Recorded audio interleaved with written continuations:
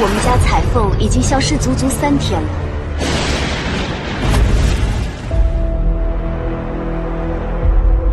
一样的纹身，清官人。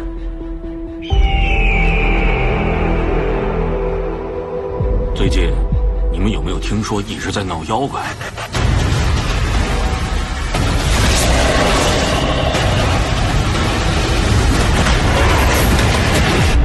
也许找到了他，我就能知道我的身世了。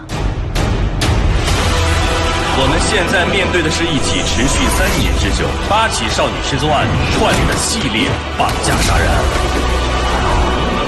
清官一人以诚心铸造，夫妻见人为立法，须知天地阴阳自有定数，肉体凡胎承受神力终有限度。五湖镇就是贼人可能的藏身范围，而且被害女子。有一个共同的特点，就是他们胸口之处有一个蛇形纹身。